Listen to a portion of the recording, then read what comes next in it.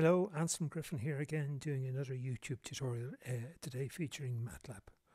So just to give some IP credit, uh, this chap here um, from the University of New South Wales, I took the example I'm going to do for survey computations from his notes.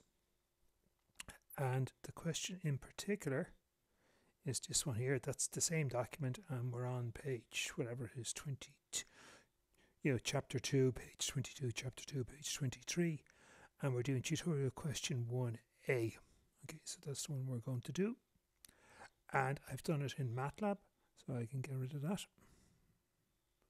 Get rid of that. And in a previous uh, tutorial, I did the same problem in Excel, and you see here I've stepped it out, step 1a, step 1b, etc., step 2a. And so I'm doing the same problem in MATLAB. So again, just in case you landed this, blues are input and reds are output. Okay, so we're going to have a little look at the MATLAB version of it. And I've published it here.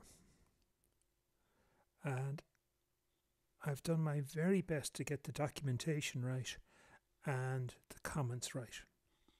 So we're going to get bearing distances, latitude and departure um, from uh, Eastings and Northings. So for that particular problem, now I'm not going to go into the surveying that much. So quick commentary. Uh, these are the inputs here. Easting of A, e Northing of A, Easting of B, Northing of B.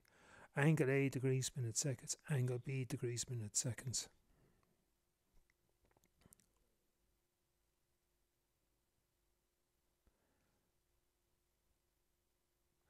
Uh, I get the delta easting, I get the delta northing.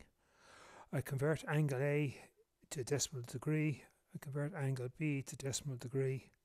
And I get angle C by saying 180 minus angle A minus angle B. I get the bearing of AB in radians using ATAN. And we have to work out which quadrant you're in. I assume you know what I'm talking about.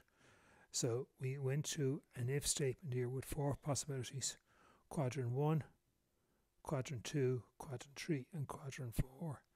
And just here, just to take one of these for example, I want to use an, an, an AND statement. So in quadrant 2, the uh, delta E is negative and the delta N is um, positive. Or here, quadrant 3,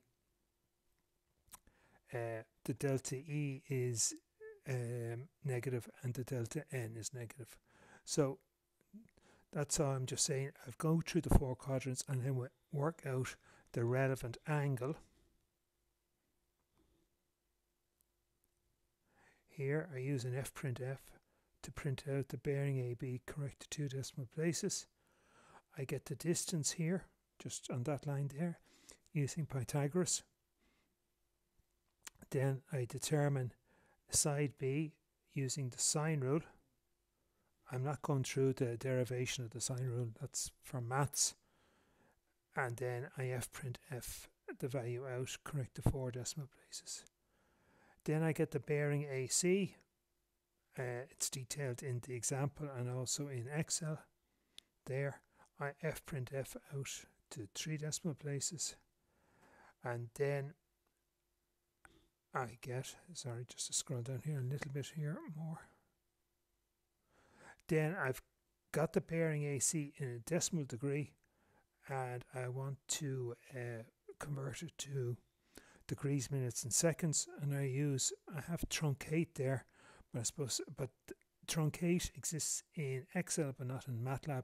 And the MATLAB version of truncate is fix so that'll give me the the integer number of degrees. This line here will give me the integer number of minutes and this line here will give me the decimal seconds. You'll have to sit down and figure it out yourself. Uh, here on these three lines here I have print f out the degrees, the integer degrees, the integer minutes and the decimal seconds and then on this line here I calculate the easting and the northing of point C and finally here I output that. Okay, so I hope that helps a little and thanks very much for listening. Bye.